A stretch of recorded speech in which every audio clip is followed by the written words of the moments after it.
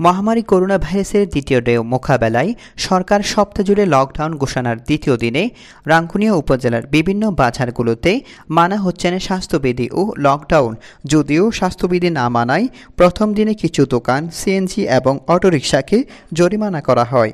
মঙ্গলবার সকাল এগারোটার দিকে রোয়াজারহাট বাজারে গিয়ে দেখা যায়, গণপরিবহন চলাচল না করলেও সিএনজি, অটোরিকশা স্বাভাবিকভাবে চলাচল করতে দেখা গেছে।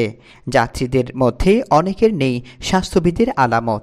দোকানের অর্ধেক খোলা রেখেই চলছে কাপড় ও কসমেটিক সহ বিভিন্ন দোকানের বেচাকেনা আর এদিকে মাছ মাংসের দোকানেও রয়েছে ক্রেতাদের ভিড়। অনেক ক্রেতা ও বিক্রেতার মুখে নেই কোনো মাস্ক ও স্বাস্থ্যবিধির লেশমাত্র। একই চিত্র চন্দ্রগোনা দামারহাট, রানীরহাট বাজারেও। সকাল আটটার দিকে রানীহাট বাজারে দেখা যায়, স্বাস্থ্যবিধির তোয়াক্ক না করেই কাঁচামালের ক্রয় বিক্রয়। দোকানের অর্ধেক কোলা রাখার বিষয়ে জানতে চাইলে কয়েকজন ব্যবসায়ীরা বলেন, আসন্ন রমছানি আমাদের বেচা বিক্রির শুরুর দিকে। সরকার লকডাউন দেওয়ায় আমাদের অনেক ক্ষতি হয়েছে। পেটের দায়ে দোকানের অর্ধেক খুলতে বাধ্য হয়েছি। প্রশাসনের লোক না আসার আগ পর্যন্ত অর্ধেক খোলা রেখেই টুকিটাকি জিনিসপত্র বিক্রি করি। আবার বয়ও হয় কখন জানিয়ে এসে জরিমানা করে দেয় তার জন্য। এই অবস্থায় আমরা অসহায় হয়ে পড়েছি। স্বাস্থ্যবিধি মেনেই দোকান খোলা রাখার ব্যাপারে সরকার সিদ্ধান্ত গ্রহণের জন্য অনুরোধ জানাচ্ছি।